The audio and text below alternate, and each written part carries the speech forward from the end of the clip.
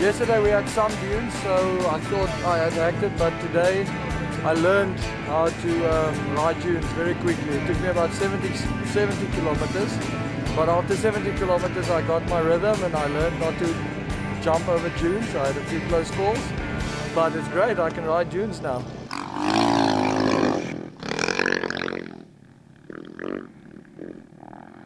Hi, it was a very good day. A lot of dunes, fast tracks, uh, good road books, everything was perfect. Nice uh, navigation and the dunes are uh, nice and you can jump on it and find the tracks. It was beautiful.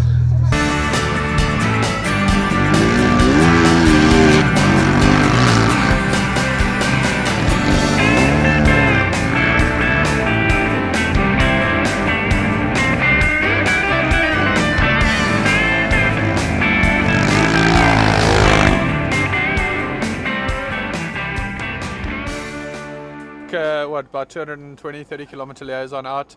Uh, spent some time in the dunes. That took a bit of getting used to. Um, so the first 40 50 kilometers had to really adjust to the riding style in the sand there. Thereafter it started coming together nicely. Um, I must say I found the navigation in the dunes a bit easier.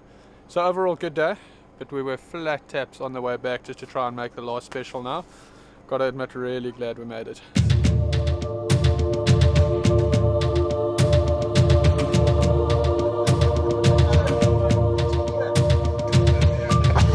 I overtook that car that was in front of us.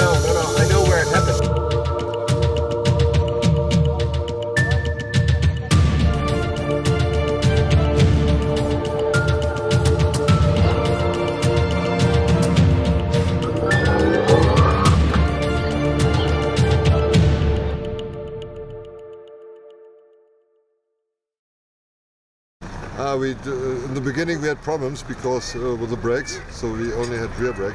Suddenly there was Johan, one on his ass because he, he went back. He was looking for something. Then we, we have been in front of us of him, and then he catch caught us again, and then he jumped in a I don't know in a, in a hole.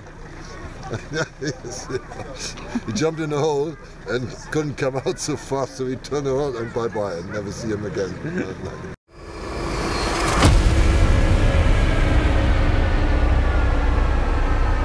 morning was great. It was uh, awesome tracks this morning and uh, a lot of fun. It was like a 200 kilometer motocross track.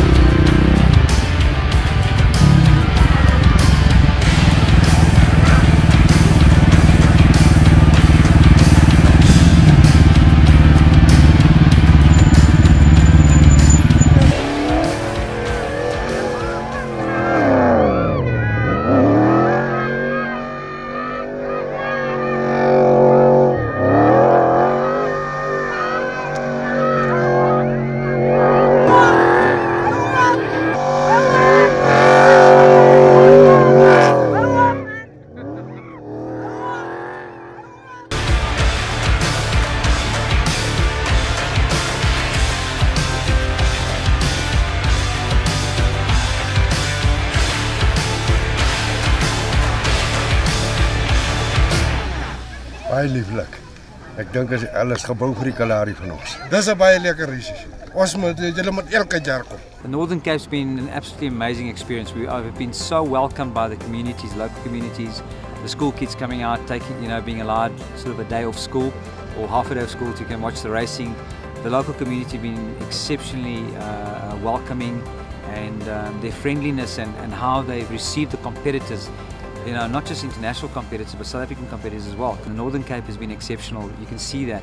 And we went to different areas, you know, from, from Askham to Klein Mier, uh, Heuningvlei and every single place. There's, there hasn't been an issue. You know, you didn't have issues of, of petty theft or they were just, it was incredible to have that experience. Even as South African, I've never been to some of these areas and it was a, it was a very, very, very um, uh, welcoming experience from, from uh, the people in the Northern Cape area.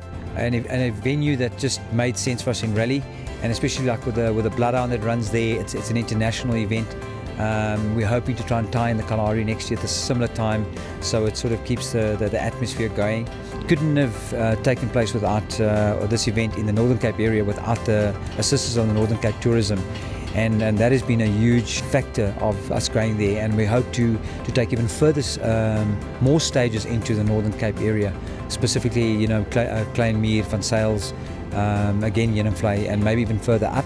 Um, but yes uh, Northern Cape tourism has been has been instrumental in this uh, us moving out at, at particular stages into that area